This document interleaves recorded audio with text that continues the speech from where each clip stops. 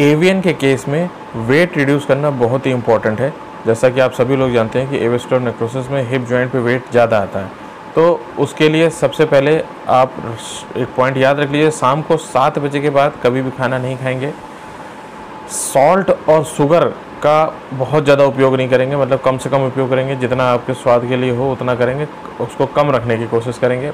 और स्ट्रेस बिल्कुल भी नहीं लेंगे, क्योंकि स्ट्रेस से भी वेट बहुत बढ़ जाता है। तो इसी तरह की इंपॉर्टेंट जानकारी के लिए आप हमारे चैनल को सब्सक्राइब कीजिए।